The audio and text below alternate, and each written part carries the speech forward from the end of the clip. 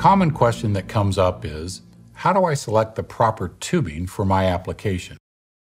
Swagelok provides a tubing data sheet to help you with that selection. There are several variables that you need to take into consideration in selecting the proper tubing.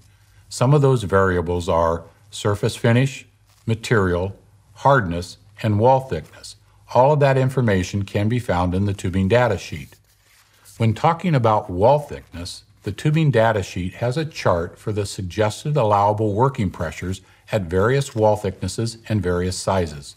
The way the chart works is the outside dimension of the tubing runs along the left side, and across the top is the wall thickness. Let's use half inch tubing as an example. Half inch tubing, as you go across, you'll see that there are no working pressures listed for several of the wall thicknesses. What this is telling you is that those wall thicknesses are too thin for half inch tubing. The very first working pressure you come to is 2600 psi working pressure at 035 wall, but that rating is grayed out. This is telling you that that is the allowable working pressure for hydraulic applications.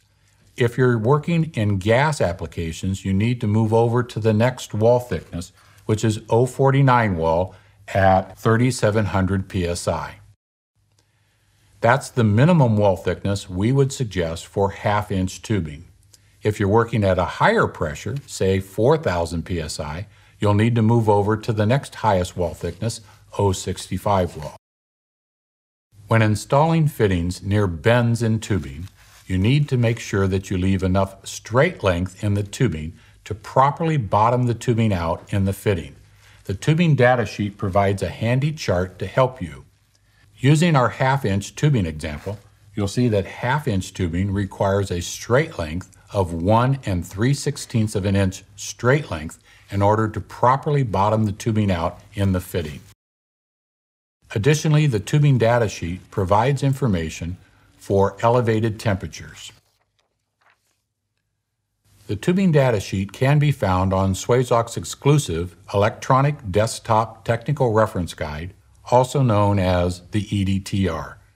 A copy of the EDTR is available from your local Swazoc Sales and Service Center.